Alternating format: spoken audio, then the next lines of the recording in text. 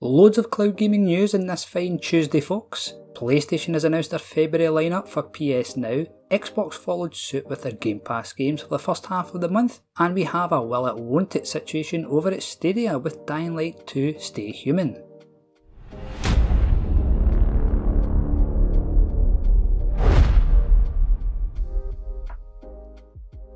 Nine games will be made available in the cloud from Xbox this February, Arriving on the third, we will have Contrast, where you can explore a dreamlike vaudevillian world of the 1920s, in which you can shift freely in and out of the shadow. Tasked with helping a young girl named Dee Dee, you will unravel the mysteries behind her troubled family and the dark secrets that must be exposed to reshape her future. Dreamscaper comes in hot the same day and is an endlessly replayable action roguelike with a walking dreaming gameplay cycle. By night, delve deep into your subconscious, facing nightmares in an ever changing world filled with unique items, abilities, and challenges. By day, explore the city of Redhaven, build relationships, and unlock permanent upgrades to take on the next dream stronger than ever. Telling Lies is an investigative thriller game with non linear storytelling revolving around a cache of secretly recorded video conversations.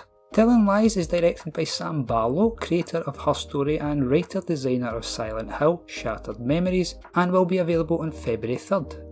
Besiege, a game preview arriving February 10th, is a physics building game where you construct war machines to obliterate fortresses, annihilate legions of soldiers, navigate hazards, and solve physics puzzles. Also arriving on February 10th is JRPG Edge of Eternity, Wage epic turn-based battles as you follow Daryon and Selene on their quest to find a cure to the all-consuming corrosion in this grand tale of hope and sacrifice.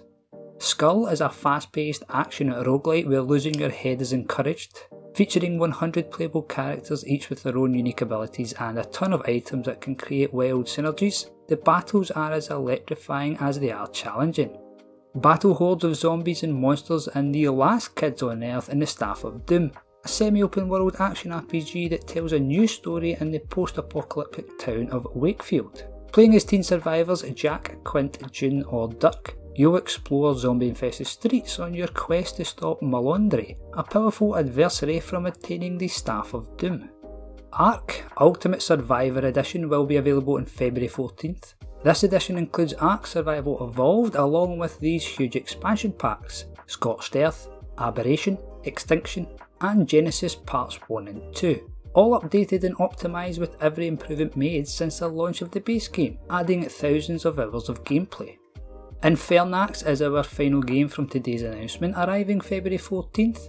Infernax is the adventures of a great knight who returns to his homeland only to find it plagued with unholy magic. While on your quest to find and destroy the source of this corruption by any means necessary, you will face ruthless creatures, dangerous beasts and precarious terrains. MLB The Show 22, launching April 5th, will be arriving on day 1 via Xbox Game Pass and it'll be available via Xbox Cloud Gaming as well. We fully expect performance in this one to be a step up from last year's version as MLB 21 arrived before Xbox upgraded their cloud hardware. Five games are leaving the cloud this month and the escapees are noteworthy. Control, Code Vein, The Medium, Project Winter and The Falconeer. You have until February 15th to check these out. Today's PlayStation Now blog announcing this month's games is a lacklustre to say the least.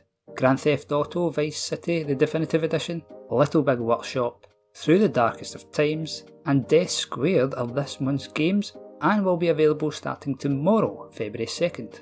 Grand Theft Auto Vice City will only be available until Monday, May 2nd. What a morning it has been for the Stadia community. We have a will it won't it situation going on with Dying Light 2 Stay Human. Rodolphe over at CGX France found Stadia listed on the Dying Light 2 pre-order page like you see on screen, but this was eventually changed after much speculation done the rounds.